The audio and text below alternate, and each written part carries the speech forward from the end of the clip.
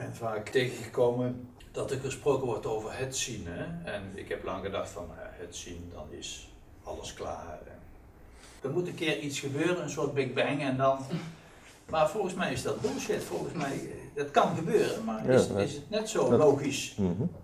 dat het een, een voortgaand proces is. En dat je steeds meer eh, beseft van nou deze persoon, eh, de interesse wordt steeds minder. Mhm. Zie ik dat verkeerd? Of? Nee. Nee. Dus er zijn heel veel van die Big Bang verhalen. En eh, ik zou ze maar met een kilootje zout nemen allemaal. Ja. En verder is het ook niet zo relevant op zich hoe het bij anderen zit. Het enige wat interessant is, is gewoon hoe het op die plek functioneert. En Ja. eh, gewoon per moment de eerlijkheid hebben om te kijken en te luisteren en te voelen. En dan zie je wel wat er van komt. Anders gaan we ook weer dat soort eh, dingen als een soort eikpunt neerzetten. Oh, daar moet ik aan voldoen. Ja. Ik kan beter kijken wat ik aan mij kan. En hoe het in mijn leven functioneert. En waar ik vasthoud, waar ik afhoud, waar ik vrij ben. Ja. En verder denk ik dat, dat waarheid, of hoe je het ook wil noemen, it's a living thing. Het is niet iets statisch, iets, iets doods. Krishnamurti zei ook heel vaak gewoon van het is een, een moment tot moment ontdekken. Dus realisatie is steeds hier nu. Of verduistering. Of iemand anders riep een keer, er zijn geen verlichte mensen, er zijn verlichte handelingen en onverlichte handelingen.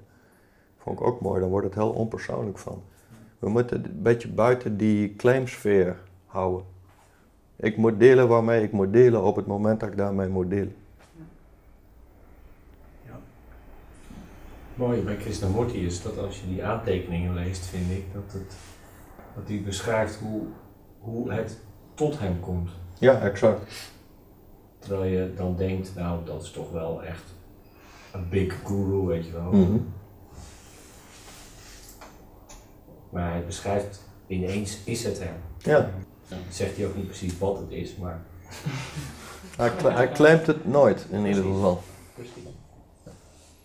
Ja. Ik denk dat dat heel correct is.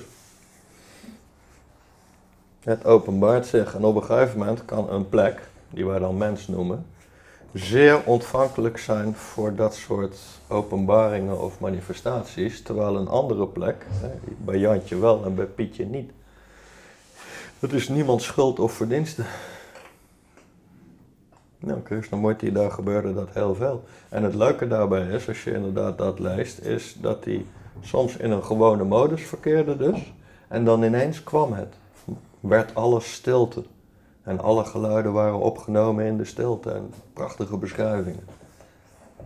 Dus hij zei ook nooit van dit is een permanent, het is altijd hetzelfde. Of allemaal van dat soort praatjes. Nee, omdat het een levend iets is, kan het heel intens beleefd worden, om het zo maar te zeggen. Of juist heel dun aanwezig zijn. Of veel meer in, wat ik er straks zei, een sfeer van het is een afwezigheid van problemen. En plotseling heeft het blijkbaar zin om zich zo sterk te manifesteren dat je bijna plakken van de stilte kan snijden. En dat kan zomaar gebeuren, you never know. Ja, dat zit veel dichter bij mijn ervaring, om het maar zo te noemen, dan dat van, ja, er was eh, een grote knal en sindsdien was het altijd. eh, ik geloof er helemaal geen hout van. En ik zou ze dan thuis wel eens willen zien. Kijken wat er gebeurt als ik een gitaar jat of zo. Of een vrouw versier, of eh, een hond schop, of weet je wel. Het is heel makkelijk, ook hier, weet je wel. Dat heb ik vaker gezegd natuurlijk, van ik zit hier en we hebben een bijeenkomst. Het is heel makkelijk om hier een verhaaltje op te hangen en iets uit te stralen. Of te pretenderen, weet je wel. Jullie weten ook niks van mij. Ja, wat ik in die boekjes doe en wat ik op, op YouTube zet. Je, ziet mij thuis niet. Dus, weet je wel, je moet niet iemand op een voetstuk zetten. Dus het hele autoriteitsgedoe is een beetje ziek. Jij bent de plek die erom gaat. Jij bent het laboratorium van zelfonderzoek, weet je wel. En die gurus Strikt genomen zijn dat dienaren, niet andersom. Maar ze willen allemaal graag dienaren hebben en volgelingen en eh, al die shit. Heb ik ook gehad. Beviel het? Nee. Was wel cool, leuk om mee te maken, maar fijn als het weer oplost. Maar was het dan cool voor het ego, bedoel je? Of in welke- Nee, gewoon om, ik bedoel, alles is een soort compleetheid van bewegingen. Dus er gebeurden net zo goed gewoon hartstikke mooie dingen. Dus ik kan niet zeggen van dat die horizonperiode waardeloos was, want dan zou ik liegen. Er zat heel veel moois in. Maar op een gegeven moment gaan er ook dingen ontstaan waarvan je denkt van... hmm, dan past het niet meer, dan klopt het niet meer en dan moet de stekker eruit. Dat is gewoon simpel zat. Bomen gooien ook hun oude bladeren weg, weet je wel. En eh, de wind snoeit wat takken enzovoort. En ik denk dat dat heel gezond is. Het lijkt wel een relatie. Ja. Ja, tuurlijk. Er zitten ook allerlei bewegingen in. En ja, soms gaat iets wat een tijd lang werkte over. Dat is oké. Ik vond het ook niet erg. Maar het is inderdaad wel tricky. Van als er een, een vaste plek is, zou ik maar zeggen, die er toen was. Dan gaat daar iets groeien. En dan word jij als voorzitter daar eh, steeds belangrijker. En natuurlijk zitten er in iedereen dus hier ook ego-trekjes die zoiets hebben van oeh, dit is cool. Maar ja, als je kunt kijken, dan zie je dat ook. Weet je wel? En dan vind je dat na een tijdje helemaal niet zo leuk, want daar ging het helemaal niet over. Dan wordt het een beperking, weet je wel. Dan- is een centrum eerst een plek waar je fantastisch gewoon dingen kunt delen. En gaandeweg begint het een beetje, ja, als ik het extreem zeg, als een soort gevangenis en een toneelstuk te voelen. Ja. Er staat een hele leuke documentaire op Netflix over nu, wat jij nu beschrijft. En Het, het, als het ongezond wordt, dan wordt het een wederzijds iets. Dus het is voor de voorzitter, die kan narcistisch zijn, maar diezelfde trekjes zitten in de groep ook. En die, die willen dan vriendjes worden met, met, met de directeur, zou ik maar zeggen. En het zijn gewoon hele normale conditioneringen die daar bezig zijn. Maar niemand kijkt daarnaar, omdat we denken dat we allemaal spiritueel bezig zijn en van een andere soort. Maar er, er gaan ook hiërarchieën ontstaan. Weet je wel? En, en ja, die, die, die heeft meer inzicht dan die ander. En je krijgt allerlei machtsissues. En het kan heel onfris worden als je niet uitkijkt. Maar je zit dan niet fucked either way, weet je wel. Wat je ook doet, is je dan niet gewoon fucked omdat het systeem altijd een beetje erin kruipt van laagjes en egootjes. En... Ja, nou, daarom moet je blijven kijken. En daarom is het niet dus iets van eh, het is eh, klaar en dan is alles perfect. Als er iets ontstaat als een organisatie, zou ik maar zeggen, zul je die ook steeds moeten opschudden en doorbreken. Er was een periode bijvoorbeeld op de horizon, in het begin wist ik veel, ik vertelde gewoon dingen. En toen kwam er zoiets, er ging iets ontstaan van mensen vroegen van, ik voel me jouw leerling of ik kan, kan ik jouw leerling worden? Daar heb ik er nooit over nagedacht. En, de eerste naring was van, nou, daar heb ik helemaal geen zin in. Maar toen had ik zoiets van, oh, ik voel gewoon weerstand tegen dat hele leerling gebeuren. Dus van, nou oké, laten we maar doen. Kijken wat er gebeurt. Nou, wat er op een gegeven moment gebeurde, was dat de, een aantal van degenen die zich leerling noemden, die voelden zich meer dan de niet-leerlingen die ook kwamen. Die mogen ook dichterbij zitten, hè? Ja, dat weet ik veel. Dat, dat, nou ja, dat weet ik niet, maar, maar er gebeurde, er daar gebeurden de eerste dingen. En dan op een gegeven moment waren er dus speciale leerlingweekenden en zo. En op een gegeven moment had ik zoiets van, hier zit gewoon iets helemaal niet lekker. Dus ik trok dat hele leerlingverhaal eruit. Gewoon van, ja, noem jij lekker zelf hoe jij het vindt, maar ik vertel gewoon mijn ding en that's it. Weet je wel? Nou, toen waren er mensen van, nee, dan kom ik niet meer, want ik ga niet tussen het gewone volk zitten. Serieus. En, en die zijn dan zogenaamd met Advaita bezig, weet je wel? Ja. Daar heb ik geen zin in. Ik had, ik had een intenser contact met een, met een flink aantal mensen die helemaal niet officieel leerling waren. Terwijl anderen die waren dat dan wel. En dan had ik zoiets van ja, Je wil alleen maar gewoon eh, dichterbij komen of, of invloed hebben in op hoe dingen gaan of weet ik veel wat je allemaal niet denkt. Maar. Nou, op het moment dat je dat dan constateert, moet je de stekker eruit trekken, weet je wel, en kijken wat er dan gebeurt. Nou, vervolgens was het dus blijkbaar aan de orde om, het- om het hele ding weg, geen vaste plek meer, klaar ermee. Nou, een behoorlijke opluchting moet ik zeggen. En wat er dan over een tijd weer nodig is, ja, dat zie je dan vanzelf wel, weet je wel. Eh, Maar het bestaat nog steeds veel binnen de Advaita-wereld, de leraar en de leerlingen. Ja, uiteraard, Officieel natuurlijk. zo genoemd, Ja. inderdaad. Ja, ja, eh, restaurant en- het is toch heel raar fenomeen. Volgens mij zeg jij dat zelf ook. Je hebt af en toe een leraar nodig. Jawel, maar dat wil niet zeggen dat je in die autoriteitshit en die hiërarchie moet gaan zitten. Oh nee, nee. Ik was heel blij met in de jaren negentig mijn, mijn eerste energieleraar Alzheimer-ding. Die dingen zei tegen me. Maar dat was niet, tenminste, ik voelde dat niet zo van hij is hoger. Ik zag gewoon dat hij meer wist dan ik en ik mocht daar gebruik van maken. Top. Verder voel ik mij niet tot dingen verplicht. Maar zo kun je heel veel dingen in het leven ook zien als leraar, toch? Ja, uiteraard, natuurlijk. Daar, daarom is je blind staren op, op zoiets dat is gewoon heel tricky. En je, je moet gewoon altijd, nou, je moet helemaal niks, maar gewoon taal. Let altijd op wat er gebeurt. Mensen, we zijn allemaal mensen, we hebben allemaal die neiging van, van ons ergens thuis voelen of opwerken of macht proberen uit te oefenen of weet je al dat soort dingen. Nou, in groepjes die heel lang bij elkaar blijven, kan een vorm van verzieking optreden. Nou, als daar helderheid op is, wordt dat door elkaar geschud en schoongemaakt. Als dat niet zo is, of als de voorzitter dat wel lekker vindt allemaal, dan laat hij dat lekker doorgaan en kan het inderdaad, wat jij zegt, er zijn voorbeelden zat van compleet uit de hand lopen. Voor mij hoort dat er niet thuis. Het gaat om bevrijding, niet om voldoen aan en niet om pikorders. En niemand is beter of slechter dan wie dan ook. Ik zit hier toevallig omdat ik over dit stukje iets meen te weten. Eh, over allerlei andere terreinen weten jullie veel meer. En zou ik kunnen komen van, hey, hoe moet ik hiermee omgaan of daarmee omgaan, weet je wel. Ik weet niks van computers, mijn partner toevallig wel. Dus die bouwt de websites en die ontwerpt dingen. Dat is mijn ding niet, dus vraag ik het aan haar. Dan is zij mijn guru op het ontwerp- of website vlak, weet je wel. Maar daarmee is zij niet een beter of minder mens of iets dergelijks. Maar we zitten vol met die dingen, autoriteitsgevoeligheid en eh, bevestiging zoeken, erbij willen horen. Maar zo probeer ik dus wel, ja, iedere keer naar mezelf te kijken, van hoe, hoe doe ik het? Mhm. Hoe doe ik het? Ja, dat, is, dat is lastig. Ja. Dat is in mijn geval lastig. Ja, ik denk voor ons allemaal.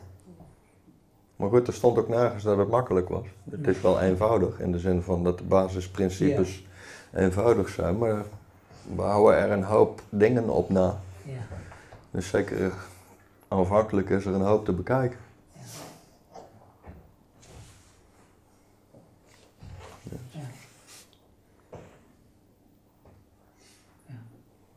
Maar het is wel nog, nogmaals van belang dat we niet te veel met een of ander einddoel in ons hoofd gaan zitten waar we aan moeten voldoen. Maar gewoon die interesse te houden bij het verschijnsel wat hier nu vandaag voor mij van belang is. Weet je wel? Want anders dan zit je weer eh, in, het, in het van A naar beter idee. In plaats van gewoon te kijken wat ligt er nu op mijn bord. Dit is waar ik mee, dit, dit moet ik aankijken. Weet je wel? En je weet gewoon wanneer je iets moet aankijken, denk ik, als je een beetje gevoeliger bent. En je weet ook wanneer er misschien dagen zijn dat gewoon dingen lekker lopen. En er hoeft niet iets speciale aandacht te hebben. En sommige periodes, ja, dan ben je misschien maandenlang dat je door elkaar geschud wordt en eh, met eh, gezegende kwellingen wordt bezocht. Maar je weet het. En je weet ook, op vroeg of laat, dat als er iets zich aandient wat je dient aan te kijken en je doet zo, ja, dat later gewoon terugkrijgt. En alles wat je gewoon wegduwt en zo, dat gaat aankoeken en het wordt er niet makkelijker op. Uitstellen is niet de handigste strategie. Ja, maar dan kom je door schade en schande pas uit. Yes.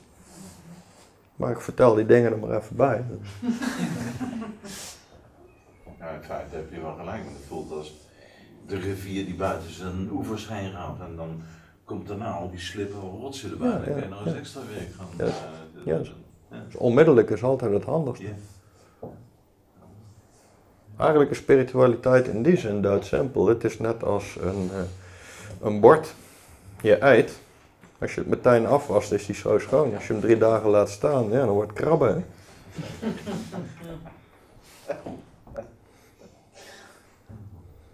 Dus dat is dan ook weer mooi simpel. Ja, het is geen keuze om het gelijk te doen drie dagen later. Nee, nee, maar op een gegeven moment leer je dingen. Ja, precies. Als er enige oplettendheid is, krijg je gewoon de natuurwetjes, zeg ik maar, door. En strikt genomen is er denk ik in ieder van ons een hang naar een, een eenvoudig leven willen, zou ik maar zeggen. Nou goed, dan zijn er sommige dingen gewoon wat praktischer dan andere. Ik merk dat soms dan, eh, dan zit ik op mijn werk en dan opeens komt er zo'n paniek eh, op of zo. Dan gelijk, weet je wel, nee, straks thuis is het beter, weet je wel, om het te voelen of zo. Mhm. Ah, oké, daar heb je hem, weet je wel. Uitstellen en dan, eh, want daar is het veilig, of daar heb je de ruimte, of... eh, Wat niet wil zeggen dat soms iets kan komen en er is gewoon geen gelegenheid. nee, nee. Dan dat- moet het wel later, maar dan wel zo snel mogelijk. Ja.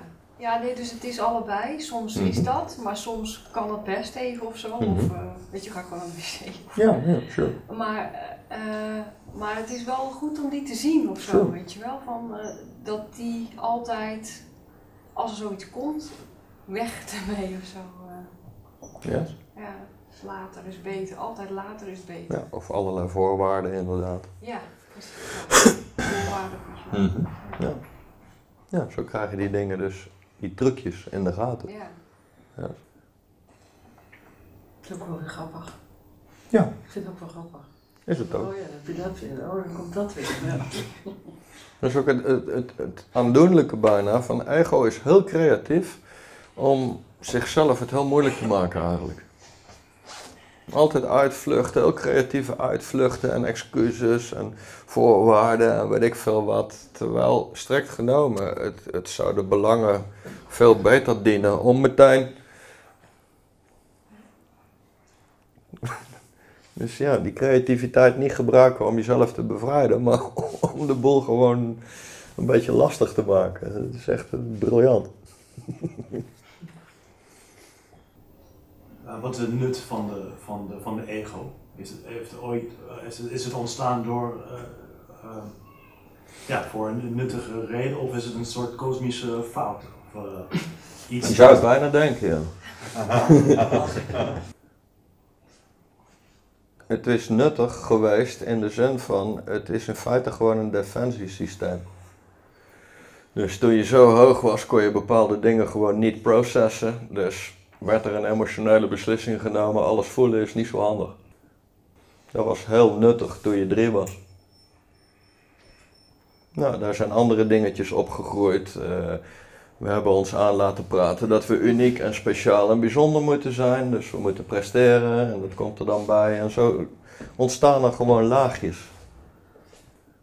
Nou, de meeste mensen zijn daar dik tevreden mee en uh, denken daar niet over na. Er zijn anderen die zoiets hebben van dit zelfsysteem, ego, me, myself systeem, is eigenlijk alleen maar belemmering.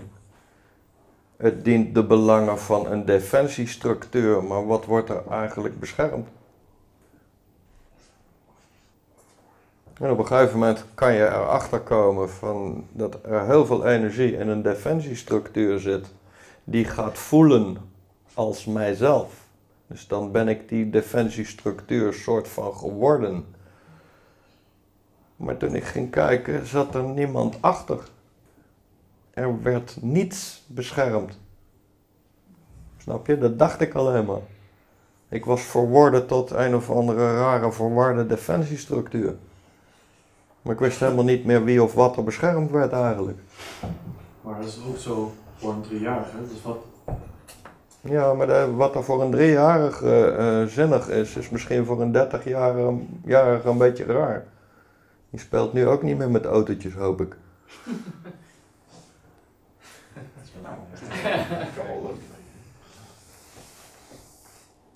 Dus zo'n klein kindje heeft niet een andere mogelijkheid dan als er heel veel emotionele verwarring is, bijvoorbeeld, om het of uit te schreeuwen of te blokkeren.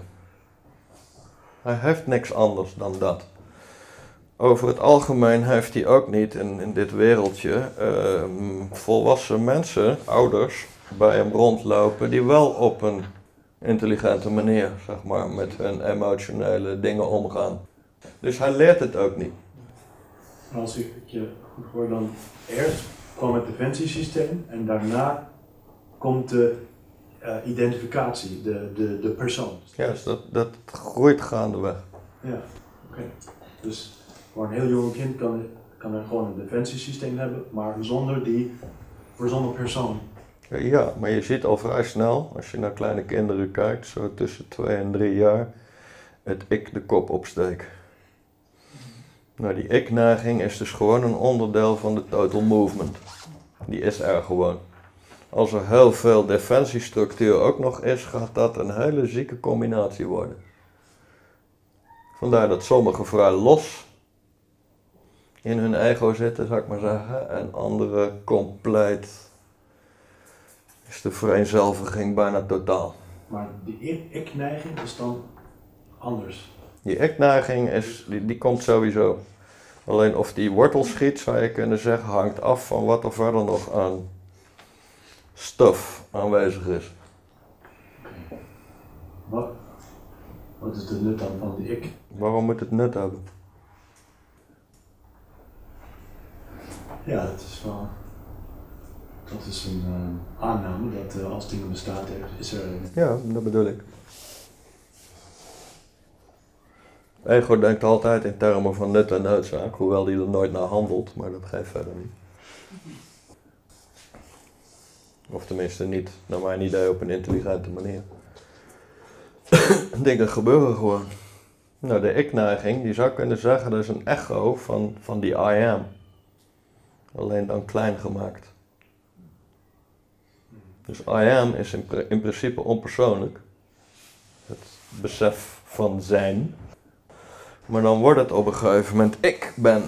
En dan plakt het aan dit ding. Dan wordt het persoonlijk. Nou, als er dan nog, wat ik zei, genoeg shit gebeurt zodat er een flinke defensiestructuur kan ontstaan, dan wordt het echt een heel hard ding. En dat groeit en groeit en groeit. Nou, in een enkeling daarvan ontstaat een andere beweging van dat weer te willen ontdoen, zou je kunnen zeggen. En dan die I am bovenop. Waar bovenop? Wauw. Als ik een tijdslijn heb, dan is eerst de I am en dan is de, de, de ik is een soort ego, eh, eh, echo daar. Mhm.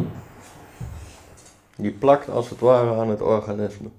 Nou, afhankelijk van verdere gebeurtenissen en factoren kan dat nogmaals tot een heel hard iets worden.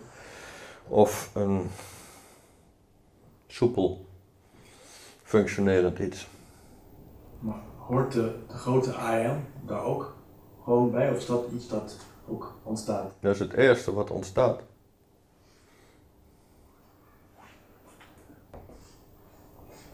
Daar moet je het eigenlijk bij laten. Ja. Maar ja, daar ga je niet over. Niet. Ja. Dat is dus het, het begin in feite van het scheppen van dingen of het ervaren van dingen. En dat is ook waar we eigenlijk de deur weer vinden terug. Puur zijn. Alles wat er opgestapeld is, gaat misschien verdwijnen. Eh, Gegarandeerd. Gegarandeerd, dat is allemaal tijdelijk. Wat stapelbaar is, is tijdelijk. Ja, het gekke is, ik heb altijd gedacht van volmaaktheid, voor wat het dan waard was met het bewustzijn, kan nooit onvolmaaktheid aandoen. Klinkt leuk, maar eh, dat ging later zo mij. Ik denk, hoe kan dat nou wezen? Maar ik kijk nou toch aan vrijdezaam Mhm. aan. Dat kan nooit kloppen.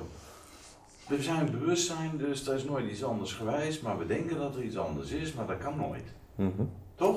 Ja, maar ja, eh, het voldoet niet aan wat wij graag denken. Nee, nee, nee. Ja, als die boom er staat, hebben we wel een blauwe plek als hij niet op Dat is lastig. Plus, van je zou ook kunnen zeggen, maar dit is ook alleen maar gewoon even een denkhandigheidje, van als iets volmaakt is, kan het zichzelf alleen leren kennen door iets onvolmaakt. Ja, gelijk, ja. Ja, oké. Ja, helder. Ja, is ook zo. Er moet iets van frictie zijn, anders kun je niks ervaren. Ja, dat is zo. Ja. Ja.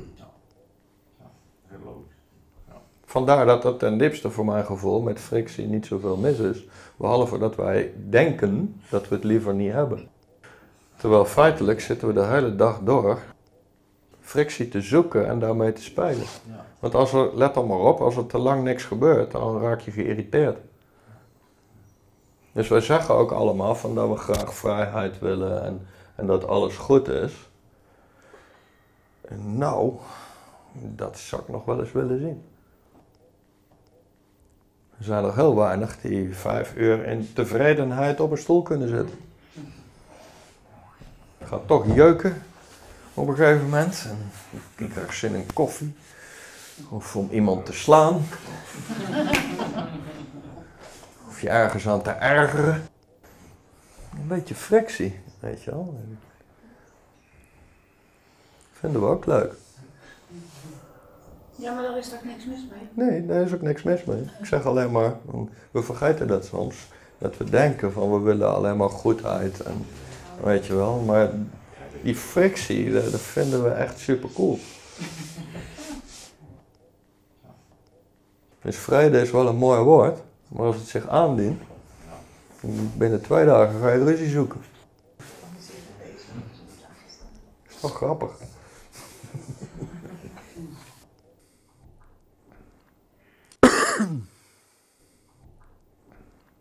Wat, wat doe jij dan met de neiging voor frictie? Als, dat in, als je ervaart dat dat... Ervan genieten. Ervan genieten. Net zo goed als de neiging van stilte zich manifesteert, wat me ook wel eens overkomt, dan geniet ik daarvan. En als de neiging tot activiteit, zou ik het liever noemen, zich manifesteert, dan, dan ik vind het allemaal prima. Eerlijk gezegd. Daar is de pest een beetje. Ik vind eigenlijk alles wel best. En dan bedoel ik alles, dus ook als er irritatie is. En de grootste bevrijding eigenlijk komt er nu helemaal op, is dat er dus niet gezegd wordt dat het zus of zo moet zijn. Ik ben ook echt volledig anti-spiritueel, begrijp je wel?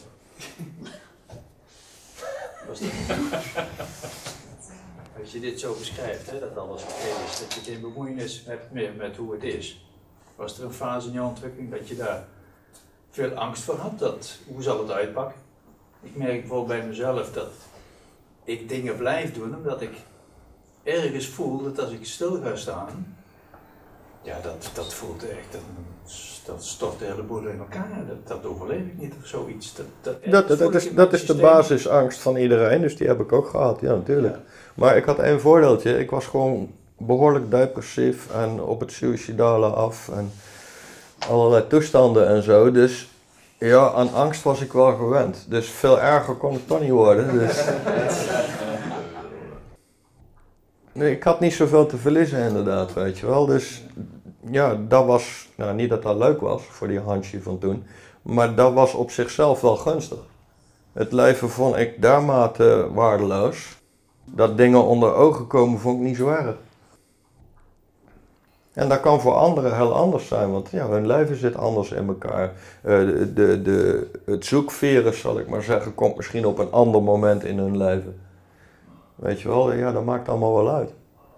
Ja, het is voor iedereen anders natuurlijk. Ja, uiteraard. Ik had op dat moment dat dat begon ook, had ik in feite niks. Dus geen, geen bezit, geen kinderen, geen, weet je wel. Dat was er allemaal niet. Dat interesseerde me ook verder helemaal niks. Dus daar had ik ook niks in te verliezen. Andere mensen kom ik tegen, ja, die hebben drie kleine kinderen rondlopen en een hypotheek waar ze ingetuind zijn. En weet je wel, allerlei shit die ze te verdedigen hebben. En ja, dan komt, die, komt dat spirituele virus de boel een beetje overhoop schoppen. Dat voelt anders dan voor iemand die op een kamertje zit en ja, ik heb een boekenkast en, en, en een tafel en een stoel en ja, weet je wel.